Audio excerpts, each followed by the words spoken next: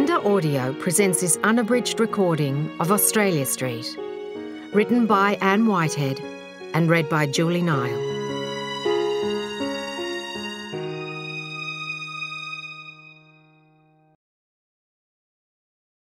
The dedication reads In memory of my parents, Jimmy and Tom. The beginning of a bad day. Chance had nothing to do with the fact that life for the Gordon family took a sudden turn for the worse on Hannah Gordon's 36th birthday. Her daughter Allie's birthday was on the same day, February the 13th. And this year it fell on a Friday, the first of only two Friday the 13ths in the whole of 1948. Added to all that, it was the day of a full moon. And if the moon could push and pull at huge oceans and cause tides to change, it stood to reason it would affect air in much the same way. No one could feel this pushing and pulling, but it had to influence people's moods. More fights and arguments happened during a full moon. That was common knowledge. More murders took place. More people went missing or mad. Hannah didn't need Grandma Ade's warning, bad luck's coming, I can feel it in the water, for her to realise the odds were against them. Hannah was determined not to give herself time to start making guesses on what might happen. She drove a taxi all week, but Fridays and Saturdays were her days off, so she had mapped out this day hour by hour, with chores like window cleaning, floor polishing, and whittling down the pile of mending stacked on the Singer treadle. Added to all that, Grandma Ade had a few jobs lined up that would take most of the afternoon. Not that this was the kind of birthday Hannah would have chosen if she had any say in it. A salon visit would be the preferred option. A professional cut to bring out the curl in her long dark hair, and a beautician to shape her too thick eyebrows and massage away the crow's feet that were just beginning to appear. Even a pot of good commercial face cream to replace the rose water, lemon juice, and rainwater she blended herself. But those things cost money she didn't have and wasn't likely to get in the near future. At least the bonus of a housework free weekend would sweeten the sour. Reviewing the list for the third time that morning, she wondered if she'd been too ambitious. There's not enough hours for all of this, she told Tom while picking up his yesterday clothes off their bedroom floor. He grunted something the pillow over his head made unintelligible, but it would have contained more than a few oaths. Hannah was heading for the laundry when he tossed the pillow after her and repeated the oaths loud enough for everyone to hear. A hangover is self inflicted punishment, so you get no sympathy for it, she shouted in an effort to drown out his curses. Time was a whip cracking at her heels, urging her through the house cleaning ritual at full speed. Quick flicks with the feather duster over the furniture, half circle sweeps across the wood panelled walls, and brooming through each room without bothering about hard to reach places. Every one minute and ten seconds, she'd race into the kitchen and take out the toast, then thrust two more slices of bread into the toaster.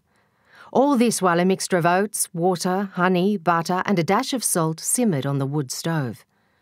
She knew that in another three minutes the porridge would start catching on the bottom. Janet, you'll be late for work, she called, wiping down the linoleum covered tabletop with lunging sweeps of the dishcloth. And Allie, you said you'd be responsible for getting Hal off to school this year.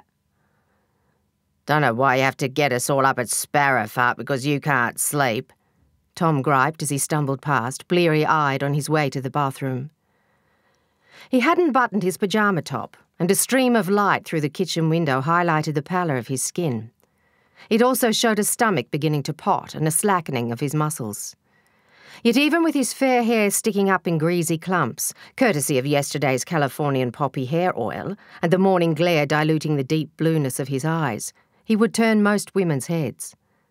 But Hannah preferred the tanned, wiry body and angular good looks he'd brought home from Darwin when his role in the war ended. She thought he was still handsome, but the rest had gone. The tan, the wiriness, 18 years of marriage. Like the passion, the loving glances, the long foreplay, now it was a beer smelling wham bam like last night. She hated nights like last night. There's no reason for you to get up, she said. But the rest of us have things to do. I promised Grandma I'd help with an inventory of the herbs, seeing as she won't be open for business today, and I have to make up some cod liver oil emulsion before Herb Day on Sunday. 10 ounces of cod liver oil, 6 ounces of glycerin, a little tin of condensed milk, and one and a half gallons of lime water, Hal chanted as he entered the kitchen. And Ali won't have to be responsible for me, see? He indicated his grey shorts and shirt, the long socks held up by elastic bands, and the well polished, if rather shabby, shoes. I can get ready by myself. I'm nine now, remember? Of course you are, love. It's just that you usually need a bit of prodding to get you out of bed and moving along. And you get an excellent for the emulsion recipe, Hannah told her foster son, and leaned down to receive a good morning kiss on the cheek when he stood on tiptoe and lifted his face. She kissed his forehead as she straightened, but her action was a little too quick, trying to gloss over an initial hesitancy. She didn't want to hurt his feelings, but she was still trying to get accustomed to these demonstrations of affection something Hal had started after spending a few days with cousin Maria and her tribe of kids. Hannah considered herself to be affectionate, but she showed it with a smile, her eyes, words. She wasn't, never had been, a kissy, huggy kind of person. That, she believed, was through no fault of her own. Growing up, she'd had no role model as far as that sort of thing was concerned. Her parents had rarely done either. Her grandmother never. It's the English coming out in us, Grandma Ade once said, and Hannah could see the truth of that. The only demonstrative member of her extended family was Cousin Maria, whose mother's ancestry was Italian. Maria and her greeting and farewell hugs tended to make Hannah feel awkward, though, thanks to Hal, she was learning to overcome this inherited reserve. Tom had paused at the door to watch the exchange. His expression altered from annoyed to what seemed to be wistful and Hannah wondered if he wished she'd greet him like that of a morning. As if that would happen, she thought. Though maybe if he stayed out of the pub for a week, I might think about it. Seeing as you got a day off, uh, I reckon we could do something for your birthday, he said when she raised an eyebrow at him. You know, just the two of us like we used to. The zoo, maybe, or a picnic. I'll even do the museum if you twist me arm. His offer caught her unawares, and he looked so vulnerable standing there with both hands bunching the front opening of his pyjama pants together that her tongue caught behind her teeth, holding back a quick, smart answer about having no money for those things. Mainly because of his unwillingness to find another job. He'd walked out on the last one four weeks ago, but what would be the use of bringing that up now? I promise, Grandma, she said instead. I can make the emulsion, Hal offered as he slid onto a chair at his usual spot closest to the wood stove. Nobody else wanted to sit at that end of the table. Not in summer, anyway. I'll get an electric stove one of these days, Hannah promised herself, smiling at Hal's pleased as punch look when Tom crossed to his side and said, Good on you, mate, as he ruffled the boy's hair. Hal looked up, matching his grin and Hannah paused in the middle of setting the table, struck by a sudden realization that the older Hal grew, the more he resembled Tom. Hal had lived with them since the age of two, and she'd almost forgotten that she and Tom weren't his birth parents. She knew his mother, but not the identity of his father, and most of the time she couldn't care less. But at times like this, she couldn't help wondering if it was someone from Tom's extended family. If he hadn't been away in the army around the time of Hal's conception, she might have started asking questions. What? Tom challenged as she continued to stare. Nothing. Placing the rest of the plates and cutlery on the table, she slopped a large spoonful of porridge into a bowl and handed it to Hal. The emulsion ingredients have to be blended in the double boiler. You're too young to be handling things on the stove, Hal, love. Too short, she almost said. Not that Hal seemed worried about his lack of height, which was just as well. He'd read her thought. I can stand on a chair, he told her. Let the kid have a go, Tom said. Ah, oh, Dad, do you mind? Go and put some clothes on, Janet ordered before Hannah had time to answer. One hand covered their eldest daughter's eyes as she staggered in from her bedroom, pretending to be blinded by his bare chest. Hannah shook her head, feigning disgust, but couldn't hold back a snort of laughter when he flicked the opening wider. Gone, you won't see a body like this too often, he said, Dropping the shirt back onto his upper arms, adopting a female model's pose, he winked at her over his shoulder. Idiot, Janet said, and burst out laughing when he jutted a hip and fluttered his eyelashes. Your dad's mad, she told Hal, bending to plant a kiss on the top of his head before adding, G'day to you, gorgeous one. Gorgeous back to you, Hal answered, grinning when Janet kissed him again as a thank you. This was their usual morning greeting to each other and had been since Hal declared that apart from their age difference, they could be twins. True, they both had blue eyes and freckles, and the same ginger blonde hair. Though Janet mostly wore hers in a pinned up plait, while Hal's was short back and sides when it didn't need cutting, as it did now. The main difference was in physique, Hal being thin as well as short, while Janet liked to call herself well built. Curvaceous is what she is, Hannah thought, looking her up and down. Why are you staring at me like that? Janet asked. That uniform has seen better days. Where's the other one? In the wash, Janet grimaced a refusal when her mother held out a bowl of porridge. It's a factory uniform, isn't it? They're all BBB. She winked at Hal. Blue, button through, and bloody awful, she added before he could ask. Anyway, you should talk. It's a house coat. I don't wear it outside the house, Hannah protested. Looks as if you dug it out of the rag bag. It's got to be ten years old. Don't be silly, Hannah said, not wanting to admit that the floral cotton housecoat was closer to fifteen. I suppose I have been getting a bit lazy about the way I look, she thought, but it still fits, so that means I'm not putting on weight like Tom. And I always dress nicely and wear makeup at work, she added, reassuring herself more than Janet.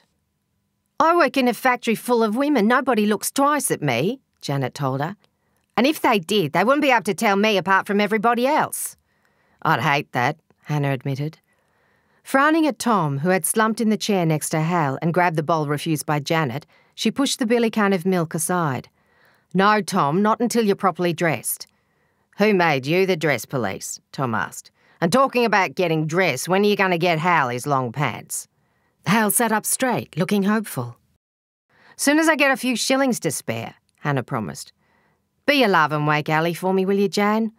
I already did, and Her Majesty reckons she's got a right to lie in, today being what it is. Hannah heard the note of sourness, but didn't comment. Except for their ages, the girls were as far apart as sisters could be, and seemingly growing further apart every day. Allie resented the fact that Janet usually got the new clothes while she had to wear the hand me downs. Janet hated the idea of Allie still being at school while she'd been working since she turned 14. Yet there was a lot more to it than that. Very different natures for a start. And Allie insisted that her sister came first in more ways than birth. Janet hadn't forgiven Allie for being born. Janet had been born during a baby free couple of years as far as the local kin were concerned. Until the age of two, she'd had the extended family to herself. They gave her presents almost weekly homemade dolls, knitted bears, sugar treats, stories invented especially for her. She was there all until Allie stuck her bib in. Though even at that early age, Janet must have guessed something was about to change. She should have known by the way people exclaimed over that stomach growing bigger every week the bulging thing emptying out in the middle of the night, and growing into Allie of the lustrous dark hair, brown eyes, and pale olive skin, so lovely that she made her cute big sister a plain Jane by comparison. Still did, for that matter, though looking at Janet here and now, she was more than average pretty despite the multi freckles. And, Hannah thought, it's vain of me to think Allie's lovely when people say she looks just like me, though she's more lanky than I've ever been. Sometimes I wonder if she's ever going to fill out. Mom, while you're daydreaming, the toast is burning and I'm already up thanks to all the noise, Allie said from behind her. About time too, Janet said, one hand switching off the toaster, the other grabbing the slice of toast Hal had just smeared with Vegemite. Thanks, lovey, I'm off.